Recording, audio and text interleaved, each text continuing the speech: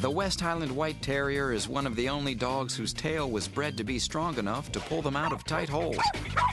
They have the boldest personalities of all dogs. They're tenacious.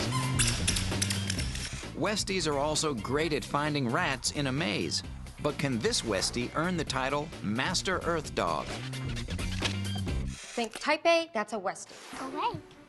Cute and cuddly, yes, but this little character is definitely not a lapdog. They're feisty little dogs. They're like little Napoleons. This mug may be cute to us, but for a critter in a hole, this is the face of terror. Terrier terror, that is. Dogs come from Scotland. They are one of the terrier group that was bred to go to ground and dig out varmints, all kinds of things. Westies are close on the family tree to cairns, Skyes, dandies, and other terriers of Scotland. Originally bred to clear farms, mines, and large estates of vermin, it wasn't long before this working dog charmed its way into the home. They've really become family dogs. They are adorable. They're as cute as a button. That adorable white coat is the most obvious Westie feature. It's double layered with a coarse outer coat that sheds dirt and debris as it tunnels. A warm undercoat makes it a good cold weather dog.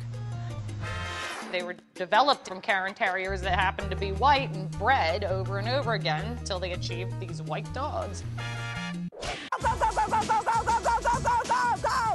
Legend has it the white coat was born out of a tragic hunting accident. A Scottish nobleman, Colonel Edward Donald Malcolm, accidentally shot his red Cairn Terrier thinking it was a fox. So he said, Gosh darn it, I'm going to breed a white terrier so I won't accidentally shoot them hunting.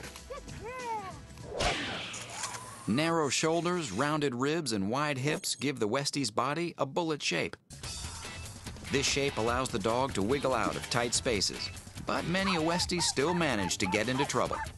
They would often dig themselves deep underground, and the only way they could get dug out was if they barked loud enough so that people knew where they were and they'd take their shovels and they'd dig them out. It turned out that so many dogs got stuck in holes that a third unique trait was bred into the Westie a super strong tail. If they're in the hole and you're trying to get them out, you can grab that tail and you can pull on them. It doesn't hurt them. Generations of breeders developed a tail with a robust bone and muscle structure. The vertebrae at the base of the tail are almost equal in size to the rest of the spine. If necessary, the tail can be gripped to pull the dog out of a hole without hurting them.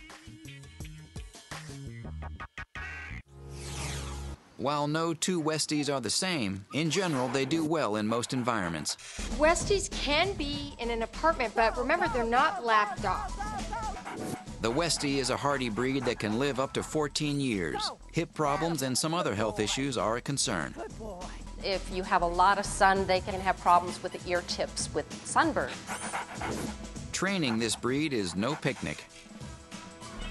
You have to have a little bit of a dog experience before you get one of these Westies. They're a lot to handle. Keeping that double layered white coat clean can be a challenge. They're going to take a little bit more coat care than some of the other breeds. The Westie is small, so children should be monitored around the dog, but in general, they are good in a family. They make amazing pets, wonderful dogs. The Westie does not like extreme heat. Generally healthy, but susceptible to sunburn on the ears. Keeping the breed's coat in good condition can be a chore, and a strong will makes it a challenge to train. Generally, this is a great family pet. I love Westies. Westies are great.